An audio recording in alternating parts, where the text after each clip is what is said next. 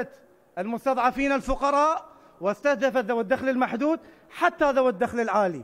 ومن قال محافظ البصرة والحكومة المحلية لم تستهدف الفقراء فهو مغلوط إن هؤلاء ليس وراءهم حزب هؤلاء هم شريحة الفقراء وهؤلاء ليس وراءهم سياسي وهؤلاء ليس وراءهم نفوذ وهؤلاء ليس متسلطين في محافظة البصرة وهؤلاء ليس من ذوي النفوذ والميليشيات في محافظة البصرة. صراحة هذه الحملة منذ البدء كانت ذوي الدخل المحدود والضعفاء والمهمشين. مئات ولدي جرد من مئات الأكشاك والأبساط والمحلات لحد الآن محافظ البصرة لم يرفع تجاوزا واحدا للأحزاب والمتنفذين وضعوا السطوة الذين يتجاوزوا على عقارات الدولة. لحد الآن الحملة رفعت تجاوز من ليس وراءه, وراءه سياسي ومن ليس وراءه نفوذ.